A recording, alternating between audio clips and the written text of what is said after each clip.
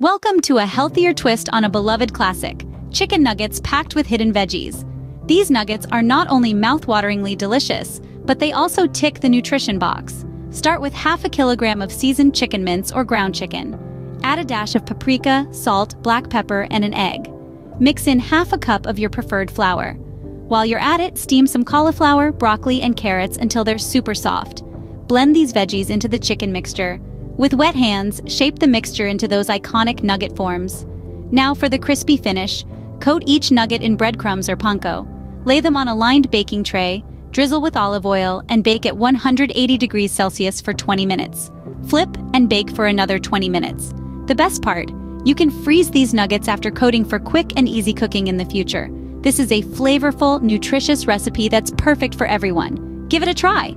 Hash cooking for kids, hash healthy nuggets.